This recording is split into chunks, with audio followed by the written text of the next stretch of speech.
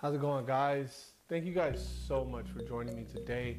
I have a very big announcement to give you guys in my real estate journey. I changed brokerages. I changed the way I'm doing things, and I want to share with you guys on why I chose to do that. Check it out. So, just to give you guys a quick backstory on why I decided to change brokerages, primarily being completely honest, I did hit a wall. I came in this game strong. I came in this game, you know, ready to work. But I noticed and I found out that it takes trust. It takes, you know, a certain level of trust that people need to have in order for them to use you as a real estate agent. So I had to take a step back and kind of start to build on that for myself. I've been blessed. I've closed four deals in my first year of real estate, working on my fifth deal, currently in escrow but I wasn't seeing any new clientele. At least this market definitely have gotten away from the current clientele that I've been working with. So that definitely messed me up a little bit. Throwing me off.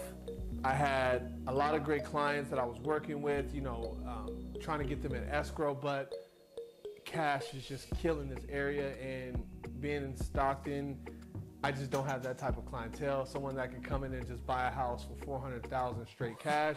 I haven't got to that point in my career yet. So what I went ahead and did is um, I went ahead and signed on to Redfin. Redfin basically, a recruiter reached out to me, said, hey, I saw your YouTube, I love what you're doing.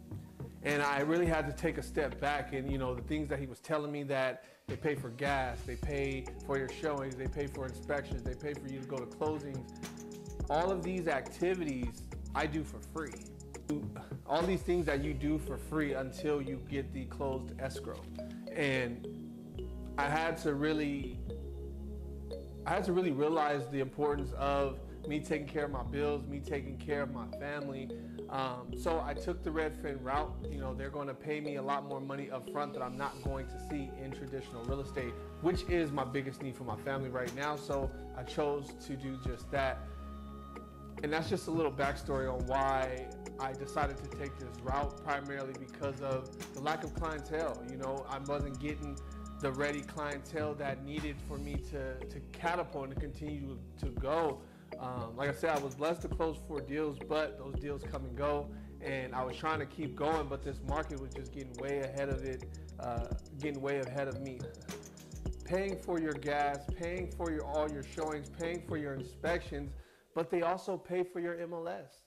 They also pay for the dues that you have to keep up with to be a realtor. I, I was thankful, man, that I've been blessed to get the deals that I have and I've been working and grinding, but just wasn't seeing the biggest return. Not saying just this large commission, but just the consistency of clientele. Um, I didn't see that in the traditional real estate, and I know that's something Redfin is going to bring me is the lead, so I'll be able to work that and just put my best foot forward.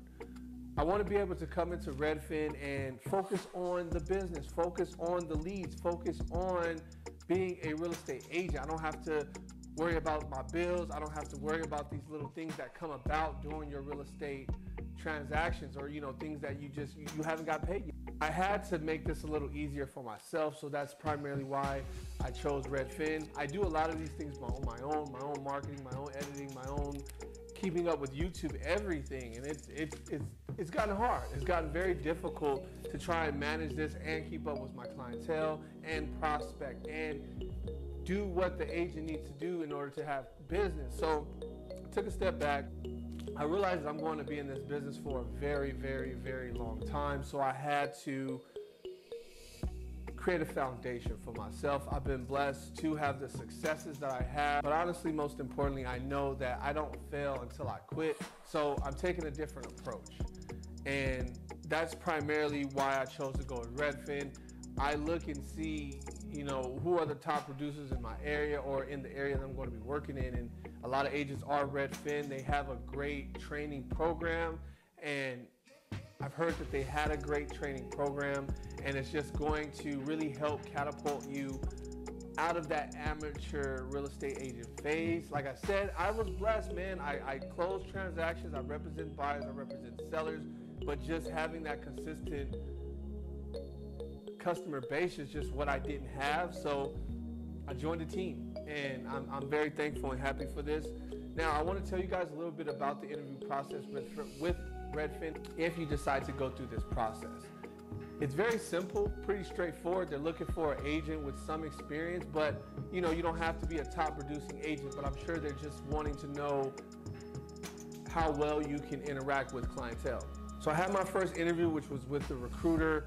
It went great. She asked you a bunch of questions about, you know, how long you've been doing business, what have you done, and you know, what are your successes and what are your downfalls. And so that's kind of what you go over with the recruiter. Then the next step is having an actual virtual interview where I met with my actual team manager and the marketing manager and it was a great interview, man. You know, I have a passion for helping people. I have a passion for doing this. So I knew I was presenting myself well, and some of the trick questions that they that they asked, you know, I definitely was able to able to identify and, and answer correctly. So just so you guys know, there's two big questions that you might stumble across um, when they ask you. So one question was, so they're just going to ask you simple things like if a client was to approach you and they say, "How's the market?" They're to, you know, they're to ask you, they're to expect you to answer that question. So how I responded on how's the market is, well, it depends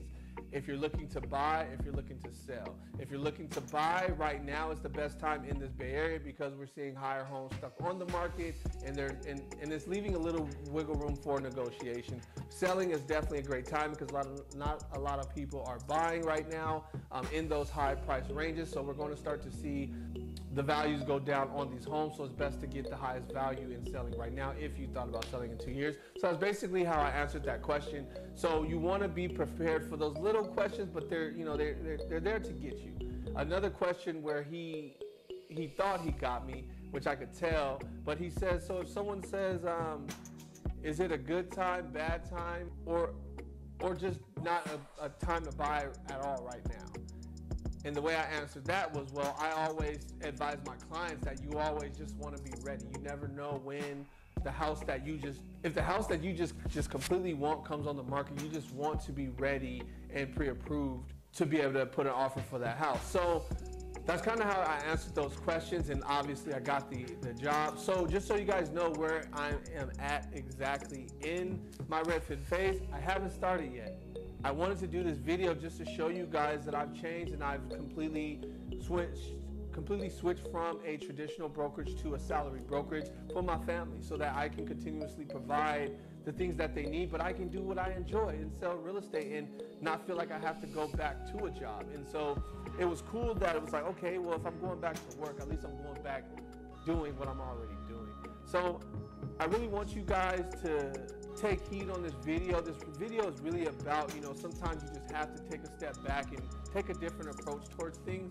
I'm just grateful, man. Very thankful, very excited for my journey. And so where I'm at in the Redfin phase, I've gotten through the interview, I've gotten through all of the information when it comes to transferring my MLS, um, submitting all of my documents, submitting all paperwork, my license information, um, good standing information. I sent, I, I paid for my new MLS. I'm leaving Stockton, going to Oakland, so I completely ready to start. Uh, my start date is May 10th, but I wanted to give you guys this video so you guys just kind of understand the difference and you know why I made this change. But I'm very excited. I'm very excited to grow, very excited to continuously get better and become a better agent so I can provide my clients with just phenomenal service.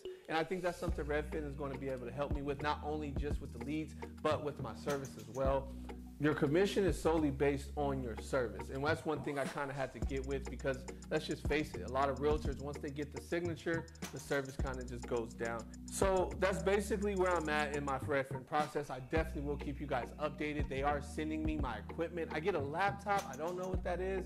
Uh, but I'm just giving you guys the basic start. I'm still in my Tom Ferry coaching, if you guys are still wondering. Able to take this coaching and continuously grow and, and, and go into a field that's going to be able to provide for my family. So I really hope you guys enjoyed this video. I really hope you guys took heed on something. It's okay to, to, to redirect. Just don't quit is all that matters. Make sure you guys subscribe. Make sure you guys like the video if you liked it. It's okay. Yeah, I will keep you guys posted. I start May 10th. You guys will get all the videos of, you know, my first day, um, me opening, you know, my equipment, the things that you get as a lead agent with Redfin. One thing I do want to let you guys know, I am not an associate agent. I am not a um, an agent that's partnered with Redfin through another brokerage. I am a full-time employee with Redfin, and I am a buyer's agent in the Oakland, California area. Make sure you guys subscribe, and you guys have a great day.